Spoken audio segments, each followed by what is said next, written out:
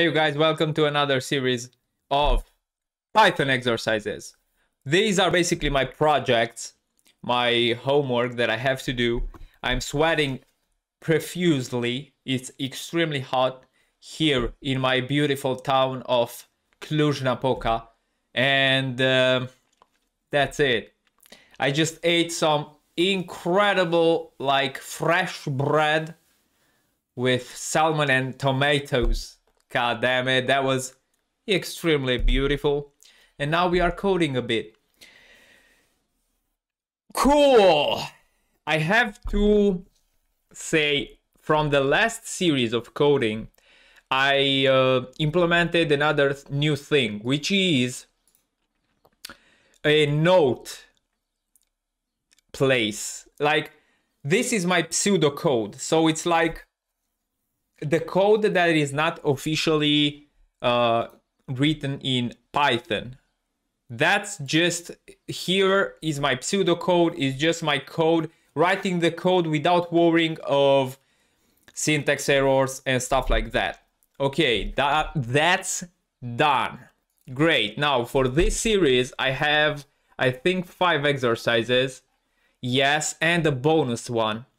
I wanted to show you this bonus exercise because I, uh, I heard that it's a very common interview question, so it might help. Great. Let's do it. So, we have to write a program that switches inputs. So, the input A and input B, it has to print the input A to be B and B to be A.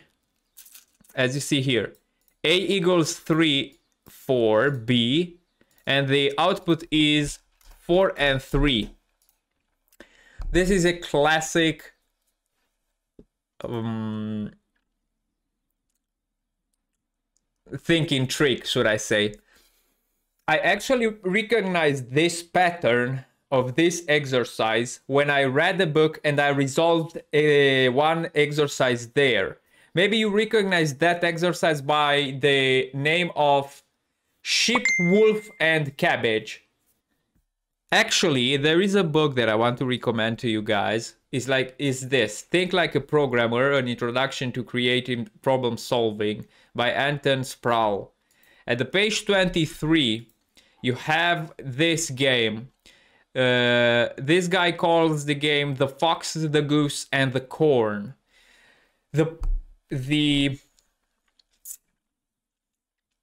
the thing with this one is so I will just tell you the rules. If you want to resolve the program, I I will tell you now the rules. Pause the video, resolve it, and then check the answer because I will I will show the answer.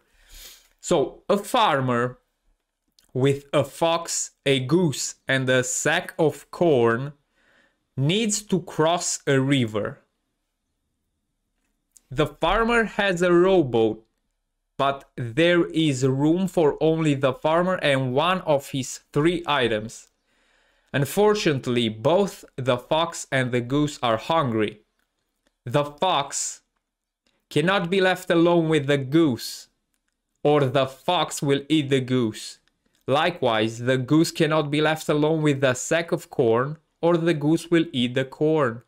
How does the farmer get everything across the river? Okay, now pause the video if you want to resolve the problem because I will tell you now.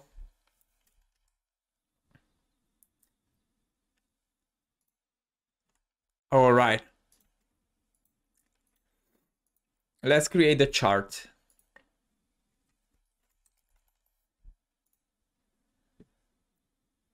Let me see if I right click. No, it doesn't work like that. Wait.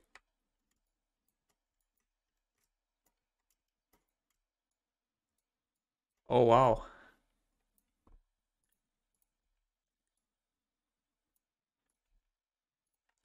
Okay.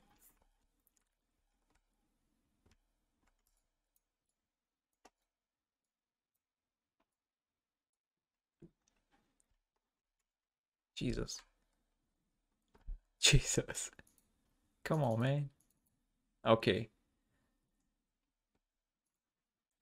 So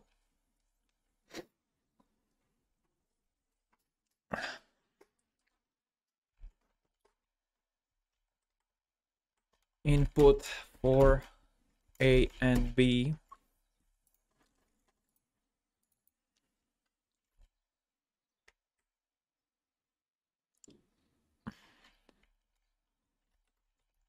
create new variable c. Assign a value of a to c. B a wait. C will be a A will be B. And uh, B will equal C. I I don't know. I have to check it when I when I write the code. Okay. Uh, print results. And we have arrived to the end. End in pseudocode will look like this. So if we ask the inputs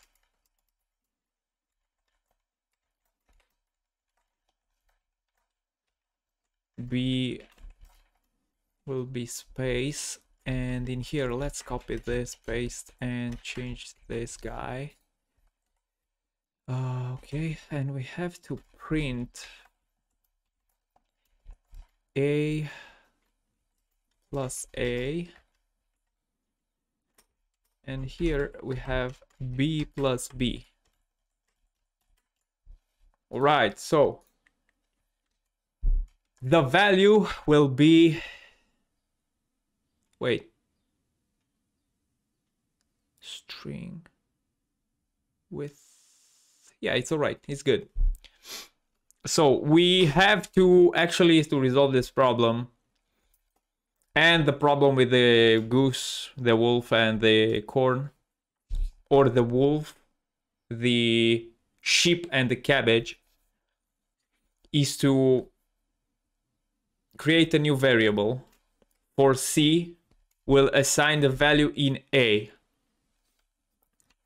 For B, we'll assign the value of C. And uh, in A, we'll assign the value of C. Wait a second. So B will be... No, A will be B. And B will be C. That's it. This is the... Let's write the program real fast. Real fast. Actually, I'll copy paste it. And I think I can actually run it. Okay, let's say I want to be crazy. Ah, no, wait. I have to make a... Wait a sec. A sec. It's a string. So I can place point as well, right? Let's be crazy, guys. You can place whatever you want in here. See? That easy. And let's check the type. It's a string for sure. Okay, type. Oh, let's check A. Let me see. Can I place it like this? Okay. All right. And this one is just 11. Takes one or three arguments.